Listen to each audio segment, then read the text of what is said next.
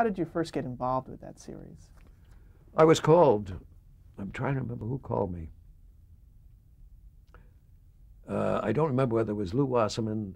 I don't think that's likely. I think it was probably Jennings Lang, who was a major executive at uh, Revue Productions.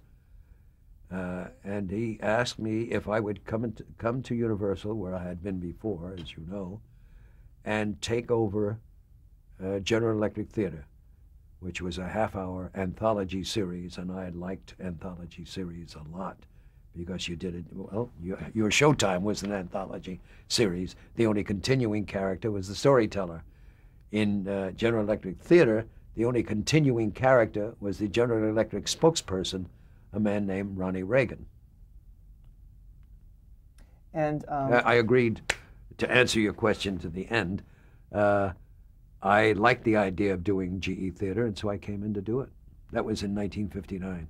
And what was your what were your duties on the show? You were overseeing the whole production. Yes, I became the producer of General Electric in the full sense of the word.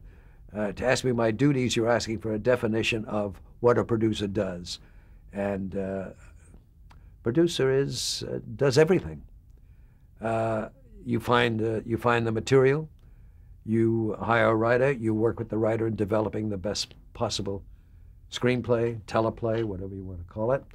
You uh, work with a casting director in casting it.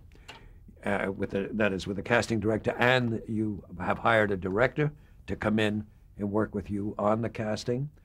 Uh, you make the changes necessary or required requested by the cast and or the director. You uh, work with the uh, uh, film editor finally in the final assemblage of that picture.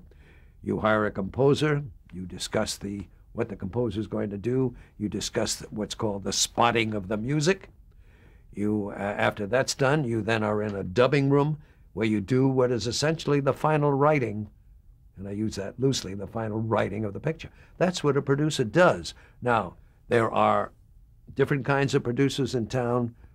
Uh, most producers do what I just said. There are some producers, uh, and this has happened even more lately, uh, who are not hands-on producers.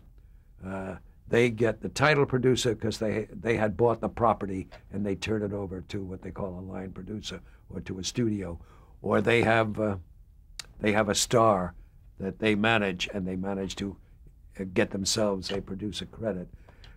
That's not what I call a producer.